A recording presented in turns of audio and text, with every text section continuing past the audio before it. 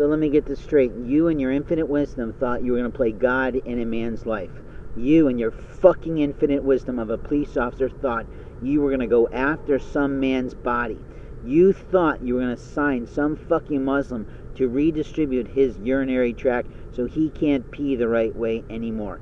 Isn't that interesting that Jesus Christ of Nazareth isn't allowed to fix a man's body, but you fucking thought you were going to do this? Do you have any fucking idea what's going to happen to you? You're going to be murdered. Your entire fucking clan of your family is going to be killed.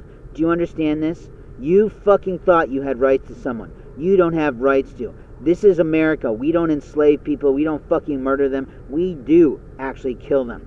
You see, you thought you were in charge of God, and you are not in charge of God today, you motherfucking son of a bitch. You are never in charge of God. And God is going to teach you that fucking lesson when you find your wife dead with COVID. You're going to lose every fucking child in your family to that illness. I promise you, Jesus Christ of Nazareth is not pleased with you. Jesus Christ had a chance to fix a man's body, but you thought you'd undo the whole fucking thing. How interesting for you. We got beauty queens who've got their fucking leg lengthened by Jesus, but it's not okay with you.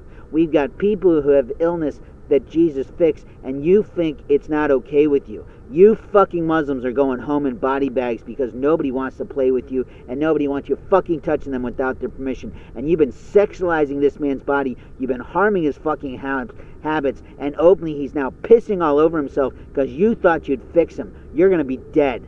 The next time you go near me, you motherfucking coward, you better fucking show yourself and tell him what you fucking did. But I promise you, that saber on his left side is gonna fucking murder you.